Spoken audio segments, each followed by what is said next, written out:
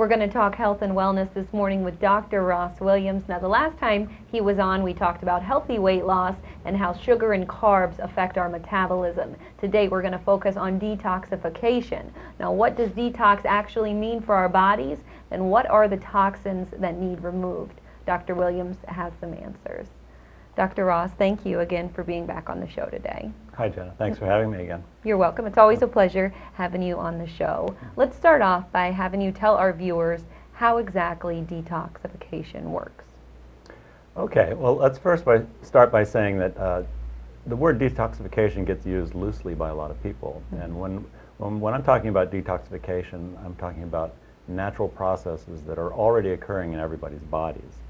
Um, it's not a cleanse like a master cleanse or an enema or any of those sorts of things.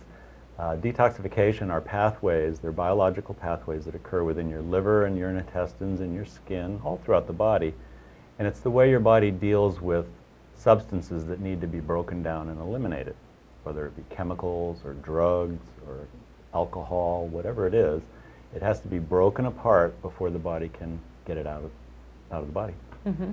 So I like that you just cleared up some of those misconceptions because you don't really think of detox as being something that you can just take juices for. No. Mm -hmm. no. Okay. Now, how do we know if we need to detox our bodies?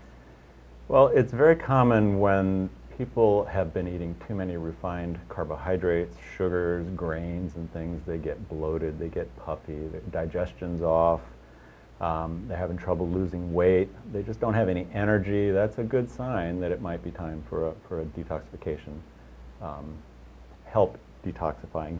And now I'm using the term not just in the biological sense, but in the, the therapeutic sense. When you say, let's do a detoxification, you mean let's use a combination of herbs and special nutrients to give the body what it needs so it can do those processes much more efficiently mm -hmm. and break down the things that get stored.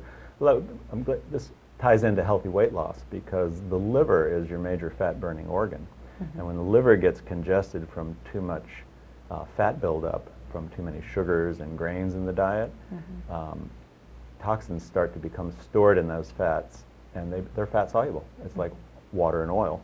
So part of a detoxification cleanse would be to take certain herbs and nutrients that convert those fat-soluble toxins into water-soluble so they can be excreted out through the urine and the feces, mm -hmm. and your body can get rid of them.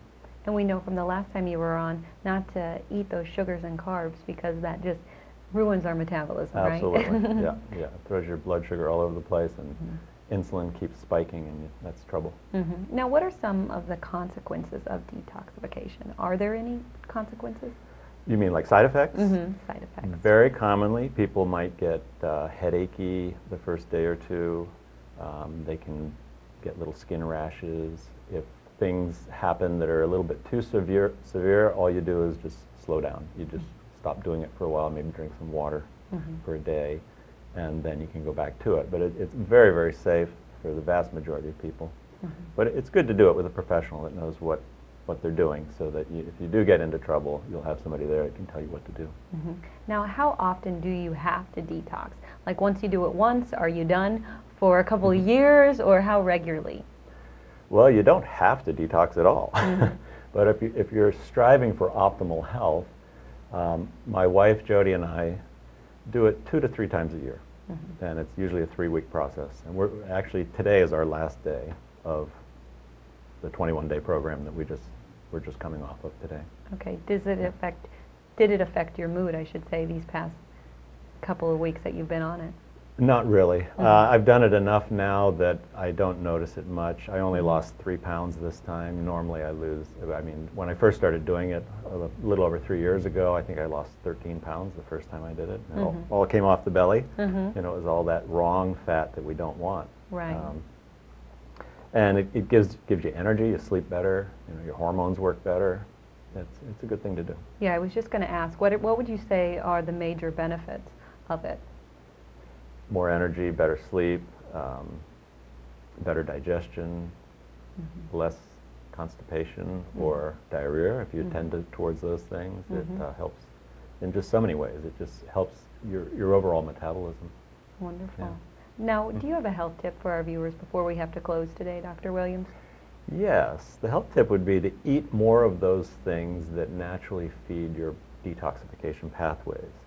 Um, that's, there's phase one and phase two. You use the herbs for phase one and you save that for the cleanses. But in phase two, you should feed that every day. And those are things like the cruciferous vegetables, um, broccoli, cauliflower, Brussels sprouts, kale, red beets, chard, and things like that that have, that they're cruciferous and they also are sulfur-bearing uh, vegetables. Those, those are very, very helpful in maintaining good detoxification throughout the year. Mhm. So stay away from the sugar and carbs again. And go towards those. Stay away from the sugar and carbs and eat your beets. All right, wonderful. Thank you for sharing all this information. If you want more info on Dr. Ross, you can check out the website, which is on the bottom of the screen. I'll be right back after these messages. Stay with me.